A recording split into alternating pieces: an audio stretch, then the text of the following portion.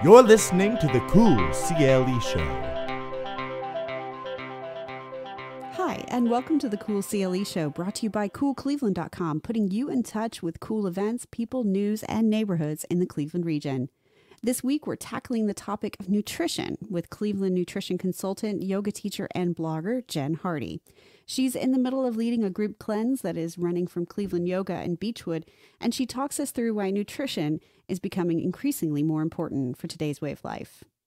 But before we speak to her, here's some events that I think should be on your calendar.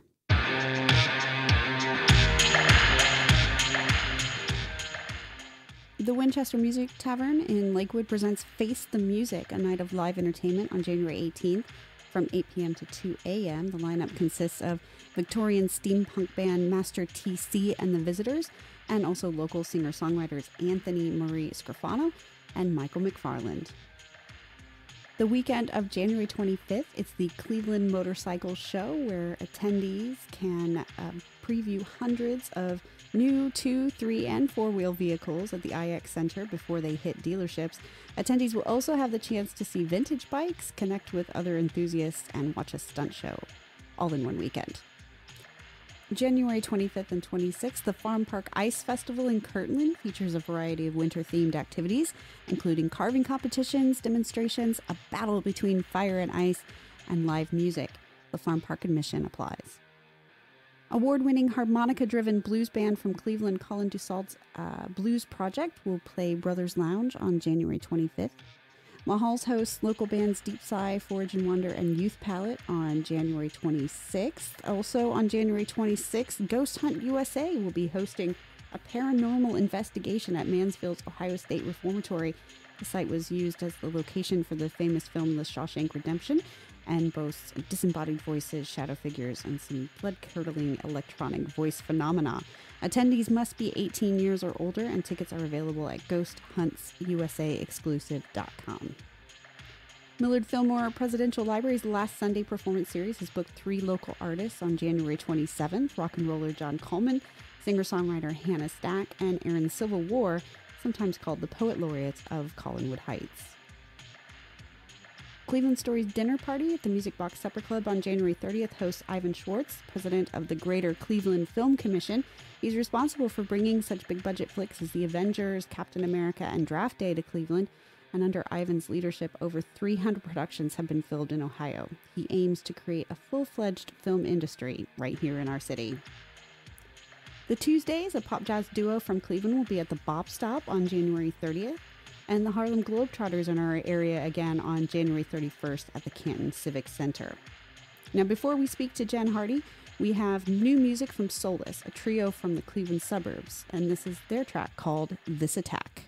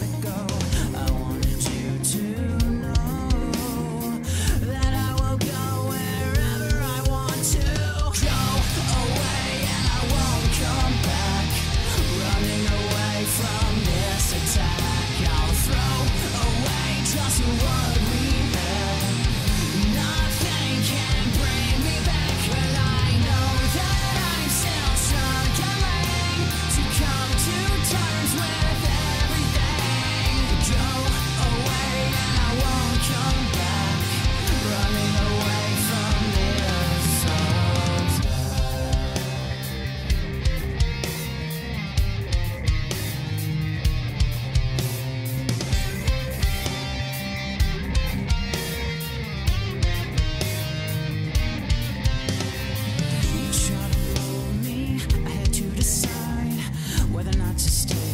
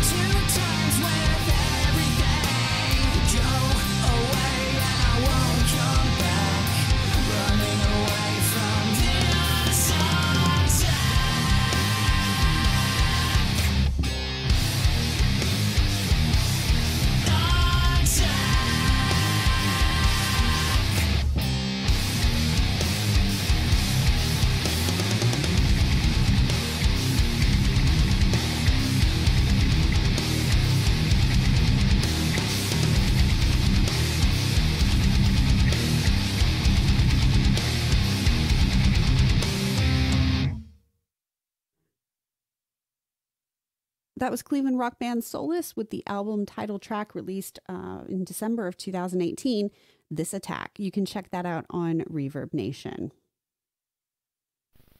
All right, we are now joined by Cleveland blogger, yoga teacher, and nutritionist Jenn Harte. Thank you so much, Jen, for joining us. Thank you for having me. I really appreciate you finding me and encouraging uh, me to get onto this podcast. Well, I wanted to find out a little bit more about what you do, and obviously, one of your uh, one of your sort of career paths is is you've started being a nutritionist. What exactly is a nutritionist? Well, actually, I'm a I'm a nutrition consultant, and it's not quite at the level of a registered dietitian. And I'll explain why I had taken like the long journey to get here. I'm also a CPA, and so I went through lots of previous schooling for accounting and over the years, I had left that profession and became a yoga teacher and dabbled in different edu- like levels of education. One was with the Institute of Integrative Nutrition. It's also called just IIN for short. And then just recently I did the Bauman College, and that was a much more intensive program for me and what we were able to do time wise and monetarily for our house. And um, so it's something where I will work with individuals to help them through their wellness goals. We do meal planning. Um, and this is when I work with people one on one. What I don't do is diagnose. I'm not a medical professional. And mm-hmm. so when it comes to um, maladies or specific diseases that people have, I really want to either work with their medical professional or have them like even go to the step up because those areas get a little gray. But I'm more or less like a wellness coach. So people mm-hmm. have concerns and they just need someone to help hold them accountable to their health and wellness nutrition goals and learn at the same time then i am like the perfect person for them. And that's again individual. I do some individual work. Yeah because it's such um it's such a confusing aspect of life. I mean yeah. we all, i was you know in in prepping for our call i just googled nutrition and some of the news articles are like eggs are good eggs are bad peanuts are good, peanuts are bad. you know, uh, you know, all kinds of things. And then there's, you know, there's uh, red wine. Uh, mm-hmm. You know, you can have red wine every day. That's a good thing. Red wine every day is a bad thing. So, um, you know, how do you sort of help individuals sort of cut through all of that The confusion. and, and find out yeah Well, that's the thing. One is that science is always changing, and we'd like to think that we're evolved enough as far as um, how our bodies work and how food interacts with our bodies to think that we know it all, but we really don't. And so there's continuous studies and um, understandings of how we work. But on the flip side, everybody is so individual and unique that for some person, red wine might be perfectly fine. They don't have a reaction to it. Um, they sleep fine. Their digestion is fine. They don't have gut issues. Um, they're not strongly addicted to it. Um, and others might be the flip side, where like wine will give them an instant headache, and long term, it could cause additional damages inside their body. So it's nice to work individually because then you can refine into what that person is going to best be able to digest um, Mm. and educate them like um, okay so peanuts they're not the best nut they're actually not they're actually not a nut they're a legume but then we can learn more about like the other types of nuts and even like a walnut or an almond might work well for somebody but there are qualities and, and components of those nuts that could cause someone stomach pain. So then you it can become overwhelming but um, you just really dial in with that person and figure out what is their food protocol. And Mm. it's a continuous journey. I've been on it for a long time. I work with it on my husband. We're always yeah i, I Right. wanted to ask that i mean uh, you know i've been following you now for a while and i kind of honed in on that was that one of the things that made you kind of take this career path Uh, you, Mhm. the sort of your husband sort of suffers from an autoimmune disease is that what i sort of took from some of your posts Yeah. Well, so it's so interesting how like life kind of guides you in the direction that you're supposed to be in. It actually, this turn, I've always been interested in food and nutrition and health, but it was more like seven years ago. I was pregnant with my my one boy, and my aunt was suffering from cancer, and so I was her grocery store girl. And I was the one getting all of her organic foods, bringing them to her house, washing them because she was really trying to heal her body not through me coaching her. She was working with other professionals. I wasn't certified at the time. But that is what triggered me. And so, wow, food can really help heal the body. And then I developed autoimmune, and my husband developed autoimmune issues. I'm like, well, good thing I'm learning this Mm. because it's helping me work through my stuff, helping him. And it's like, I have to stay on this because I need to keep my family healthy. And then because of that, I'm like, why not share it with others too? Because we're all in this together and we all need it. Mm. The uh, my mother as well uh, suffered. She was diagnosed uh, in the last few years with lupus. There seems to be a, I don't know maybe I don't know if it's me, but there seems to be a rise. I, you know I don't I'm sure there's statistics around it, but this rise in allergy food allergies, a Mhm. rise in autoimmune type um, conditions. Do you have any insight into how perhaps nutrition, uh, uh, you know, us as a as a society, how nutrition may have a have impacted that? play a role. Yeah, and it's again one of those where they're constantly like, you know, when I read and and listen to other podcasts as well, get that kind of grappling with the understanding of what's going on in our society. My general understanding of it is that a lot of it is um, well, it all leads back to our gut and the health Mhm. of our gut microbiota. And as we combine, live in a very um, clean society where everything is very hygienic, that affects how our body works, especially kids. And, and there's some kind of like interest in that and allergies. But then also, once we get into the gut and have irritation, inflammation, damage, which is caused by our environment, what we put in our body, what we put on our skin, our stress, our you know movement and exercise, and all these factors that can play a part into the health of our gut. Um, there is some understanding that a perforated gut barrier, or what's called a leaky gut, can be the trigger for these inflamed, inflamed immune responses. And um, so once the immune system is activated and potentially even triggered to want to attack a certain tissue inside the body that is then leading to an autoimmune condition. That's my general understanding of a lot of it starts in the health of the gut, the health of our gut bacteria that keep the environment stable and working well. And so that's kind of when I'm working with individuals or even in, um, and I know we'll address this group cleanse program, mm-hmm. so much of it is like heal, seal, and repair the gut lining. And a lot of times we'll see reduced symptoms of certain um, diseases or reduced fatigue or reduced brain fog, general, mm. sometimes weight loss, um, a lot of times weight loss, um, and, and so general like more energy and sense of well-being in the world.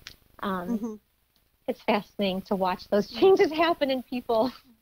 Absolutely, and and I guess it's a slow thing, and I. Uh, you know, before you know it, you've got a problem. You know, it might have started out right. slow, and and then uh, so what are the signs you know if anybody's listening and they're thinking huh i wonder if i should talk to a nutritionist like um, what are some of the signs that that people might be experiencing where they need to really look at what what they're putting in their mouths to to try to rectify that mm-hmm. well a lot of it is if there's any gut disturbances so there's a question of like well what's normal and um, not to like freak your listeners out or anything but like what comes out of you and how often what comes out of you is a determination of like, do I have a healthy flowing system? Or is is there, you know, heart or heartburn or GERD, which is an acid reflux, like that can be indication mm-hmm. that there might be improper digestion as well. Um, so I think those factors are symptoms to look at, like, or, you know, you know, joint pain or fatigue, like especially in your 30s um, or even your 20s. Like it's not like, oh, I'm getting older, 40s. Like, oh, this is just how it feels to get older. and that not tends to be a then. default. yeah, we're not meant to feel bad, and you know, you want to not only live long, but you want to have a long, healthy life, and so that you have good years and not just you know years that you're just you know seeing lots of doctors and getting lots of prescriptions mm. and wanting the quick fix for something that did take 30 years to progress into something because there isn't a quick fix unfortunately mm. um, you know when and drugs have and medication is wonderful and has its place for sure helping individuals but to be on a drug for long run lifetime like that's something as me and my husband we start to question like okay do we want him to be on an immunosuppressant for 10 15 20 30 years oh, i wish we wouldn't have to but let's see what we can mm. do to help you know, reduce that or see if there's anything that can be done to at least help reduce the level of pain. And so yeah. sometimes it's a combination. A lot of times it's a combination. Sometimes you see individuals that get to get off their heartburn medication because they're able to relieve it through nutrition. Mm-hmm. So yeah, you're uh, you're embarking on this. Uh, t- you're leading this 21 day uh, cleanse. Mm-hmm. Um, that seems pretty intense. Uh, so, so what's involved in uh, in something like that? Sure, and it's funny because we've been doing it at we I host it at Cleveland Yoga, which is a uh, yoga studio in Beachwood, um, and we've been doing it for so long that now I'm like, oh, we're so used to it. But it can be kind of shocking for individuals because the it's a 21 days, so it's three weeks. The first week is an elimination of, and it's kind of a vegan diet, pretty much vegan, where we eliminate all animal byproducts, which is meat and eggs and dairy. We also eliminate caffeine, which can be difficult, uh, alcohol, gluten, which is pretty much most spreads, pastas, um, certain grains, but in, also hidden in a lot of food, and mm. refined sugar, which is almost everywhere. You're killing me. Yeah. so we really get in the nitty gritty and we work together as a group to have wonderful recipes, you know, and not feel like there's nothing left. We focus on the food that is left that's good, which is lots of fruits and vegetables, legumes, nuts and seeds, probiotic foods. And, and then on week two and three, we talk a lot about clean protein and clean meat and what it means to buy a grass-fed, pasture-raised you know, beef or mm-hmm. cow and same pasture raised eggs and, and poultry. And so we can get into like these are the cleanest proteins. And so it's not necessarily like we're trying to pigeonhole anybody into any particular diet. Again, it's like, okay, we're, we're going to cut back and refine things and then start to slowly add back in healthy, whole, nutrient dense foods to see how you feel. And um, yeah, and then usually, I say almost always, they, they wanted me to do this. Like I, we talked before, it had been two years since I had the cleanse, and I've been people have been asking, "When is the next one? When is the next one?" Because everyone feels so great afterwards, Mm. and uh, it's it's so nice to do it with people that are again, you have to be committed, you have to want it.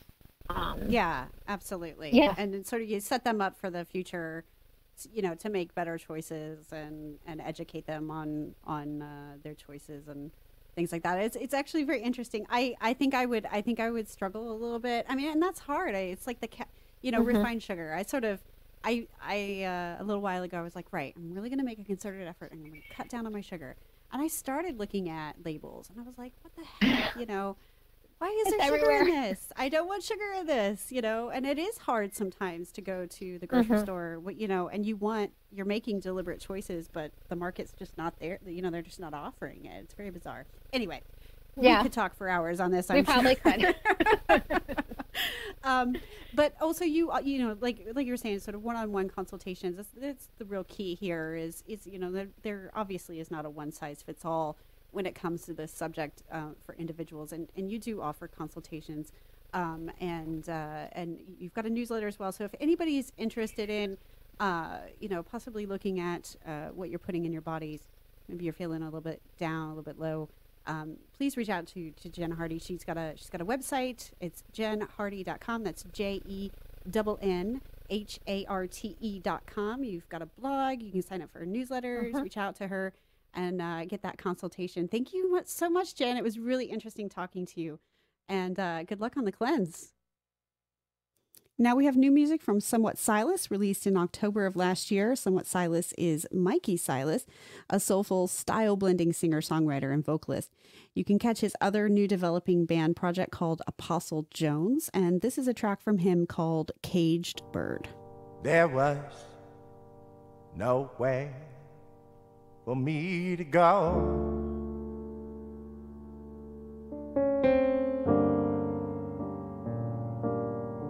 Lord, I swear they took everything I thought was mine now.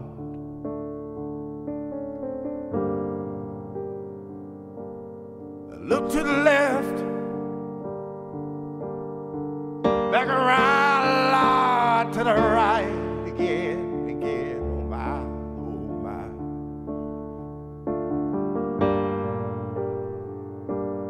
Nothing for miles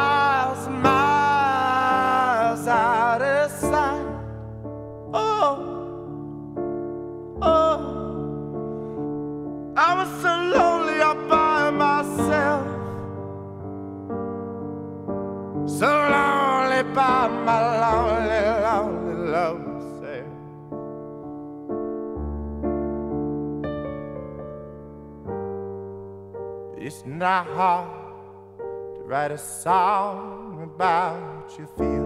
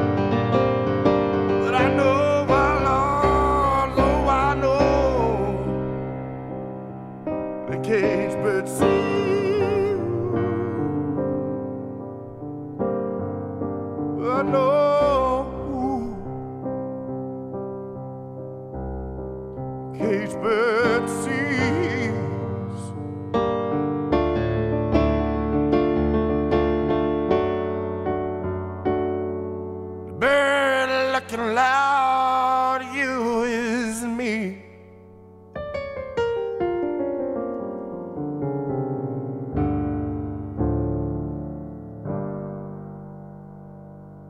That was Somewhat Silas with Cage Bird.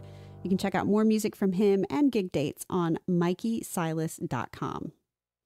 And that's it for this week. Thank you to Jenn Harte for coming on the show. You can learn more about her programs and even schedule a 15 minute free one on one nutrition consultation on her website, jennharte.com.